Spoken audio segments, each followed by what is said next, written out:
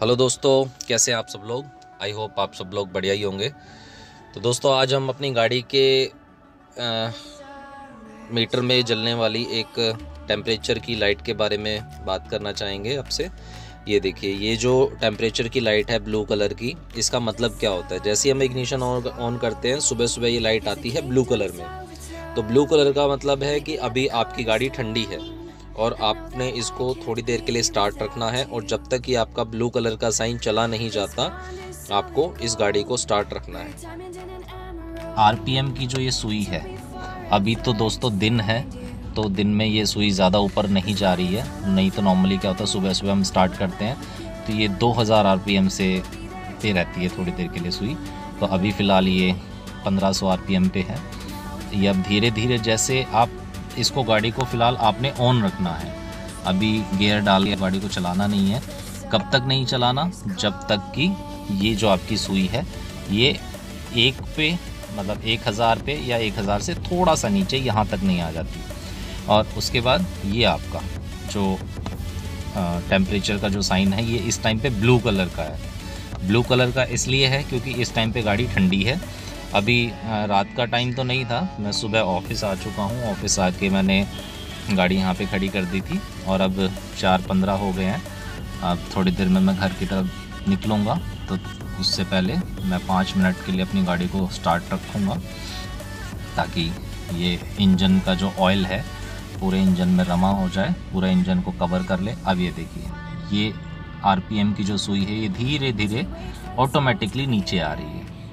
ये दोस्तों क्या होता है, हमारी गाड़ी में जो अब नई गाड़ियाँ आ रही है, वो स्मार्ट टेक्नोलॉजी में के उसमें आ रही है। काफ़ी ज़्यादा स्मार्ट टेक्नोलॉजी यूज़ की जाती है। पहले की गाड़ियों में आप देखते होंगे कि हम जब सेल्फ मारते थे, उसके साथ में हमें एक्सीलेट एक्सीटर भी प्रेस करना पड़ता था। बट आज के टाइम पे जो गाड़ियाँ आती है, उसमें फ्यूल इंजेक्शन या ये सब चीज़ें टेक्नोलॉजी काफ़ी यूज़ की जाती हैं। तो इसमें हमें सेल्फ देने के साथ एक्सीटर करने की ज़रूरत नहीं है। ये ऑटोमेटिकली फ्यूल इंजेक्ट करता है और गाड़ी को स्टार्ट करता है। एक्सीटर देने की ज़रूरत नहीं होती।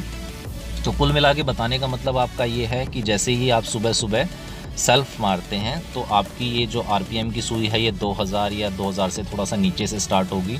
तो उससे पहले आपको कोई भी एक्सेलरेट नहीं करना है जब तक आपकी ये आरपीएम की सुई एक या एक से थोड़ा सा नीचे नहीं आ जाती। अब इस टाइम ये एक से थोड़ा सा नीचे आ चुकी है। अगर आपके पास थोड़ा सा टाइम और है तो आप थोड़ा टाइम और रुक सकते हैं, जब तक कि ये आपका टेम्परेचर का साइन चला ना जाए, जब तक आपकी गाड़ी पूरी नॉर्मल पोजीशन में ना आ जाए। ब्लू कलर के साइन का मतलब है कि आपकी गाड़ी ठंडी है, और रेड कलर के साइन का मतलब है आपकी गाड़ी बहुत ज़्यादा हीट हो चुकी है, बहुत ज़्यादा गर्म हो चुकी है। गाड़ी गर्म होने से मतलब गाड़ी का इंटीरियर गर्म होने से नहीं है, गाड़ी के इंजन से है। ये साइन आपका दिखाता है, इस टाइम आपका इंजन कूल्ड कंडीशन में है। तो जब तक ये साइन चला नहीं जाता, जब तक आपको गाड़ी नहीं चलानी चाहिए। नहीं तो आप ये जो सुई यहाँ से यहाँ तक आ जाएगी, उसके बाद आप गाड़ी चला सकते हैं। और ये जो ब्लू कलर का टेम्परेचर का साइन है, ये मुश्किल से आप एक किलोमीटर भी आप, अगर आप गाड़ी चलाएँगे वैसे तो उससे पहले ही चला जाता है बट एक किलोमीटर मान लेते हैं। एक किलोमीटर आप जैसे ही गाड़ी चलाएँगे तो आपका ये टेम्परेचर का साइन चला जाएगा और आपकी गाड़ी नॉर्मल कंडीशन में हो जाएगी। बट मोस्टली आपको सर्दियों में ये बात ज़रूर ध्यान रखनी है। गर्मियों में तो चलो आप जैसे मर्ज़ी यूज़ कर सकते हैं। बट सर्दियों में ये चीज़ यूज़ करना बहुत ही ज़्यादा इम्पोर्टेंट हो जाता है कि आपका जो इंजन है, वो इंजन ऑयल उस पर पूरा कवर हो जाए और पूरा उसको अच्छे से पकड़ ले और आपकी गाड़ी काफ़ी लॉन्ग टाइम तक आपके इंजन में कोई प्रॉब्लम नहीं आएगी इससे। तो फ़िलहाल मैं तो वेट करूँगा, ये टेम्परेचर का साइन बिल्कुल जाने का। तो उसके बाद ही मैं अपनी गाड़ी को आगे रन करूँगा। और सुबह भी मैं ऐसा ही करता हूँ ऑफ़िस से निकलने से पहले। भी और सुबह घर से निकल, निकलते हुए भी ये देखिए, ये आपका टेम्परेचर का साइन चला गया है।